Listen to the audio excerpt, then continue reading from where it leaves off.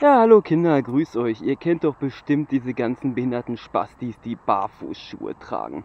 Wie krank ist das denn? Erstmal wird das wahrscheinlich aus richtig übelst hautkrebserregendem Plastik hergestellt. Dann schwitzen da die Füße drin und reiben sich wahrscheinlich noch kaputt. Man bekommt Fußpilz und keine Ahnung was nicht alles. Warum nicht einfach gleich richtig barfuß laufen oder so wie ich schön mit den Zimtis ohne Socken fett durch die Kante gelatscht.